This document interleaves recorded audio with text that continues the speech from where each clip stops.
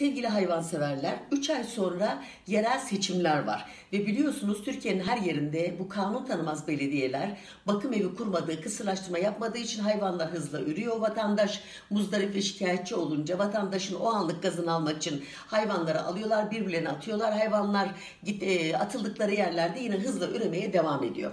Peki biz şimdi bunun için ne yapmalıyız? 3 ay sonra seçim var.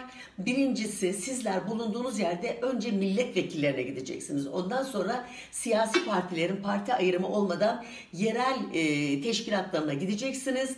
Ve tek çözümün kısırlaştırma olduğunu hem aday adaylarına hem adaylara daha sonra adaylara seçildikleri takdirde e, en geç 6 ay içinde kısırlaştırma ünitelerini, kısırlaştırma merkezlerini, bakım evlerini kurmaları konusunda vatandaşa ve sizlere söz vermesini isteyeceksiniz. Bunları da yerel basınla paylaşacaksınız. Eğer ve bu arada belediye meclis üyelerine e, adaylarına da gideceksiniz. Belediye meclis adaylarını üyelerinin de seçildikleri takdirde belediye başkanlarına kısırlaştırma merkezi bakım evi kurup etik ve tıbbi koşullarda kısırlaştırma yapması için talepte bulunmasını isteyeceksiniz. Şu anda başka bir yolu yok. Allah hepimizin yardımcısı olsun. Bu kanun tanımaz belediyeler karşısında Nesrin Çıtırık Hayvanları Yaşamakları Konfederasyonu Başkanı.